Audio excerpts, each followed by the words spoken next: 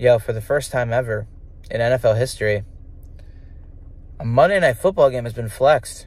Um, the Patriots game, whoever the hell they're playing, I don't really know and I don't really care. That game got flexed in week 15, the week following the uh, Cowboys game. It got flexed to Monday Night Football, Eagles Seahawks.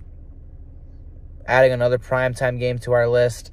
And hey, I'm all for it. I, truly don't mind that. It's an interesting matchup. It'll have playoff implications, especially for the Seahawks. So why the hell not? Eagles just keep making history, and whether people want to respect them or not, last year was literally that we never played anybody. This year is that we're overrated and that the referees help us out and we're the luckiest team ever. They just keep making excuses for us. They hate us. They don't like us. We don't give a shit.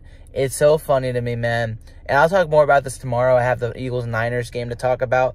Uh, but man, keep making history, Jalen. Keep making history, Sirianni. Everybody over there in Philly, keep doing what you're doing. Let's keep winning and keep proving everybody wrong. I love it.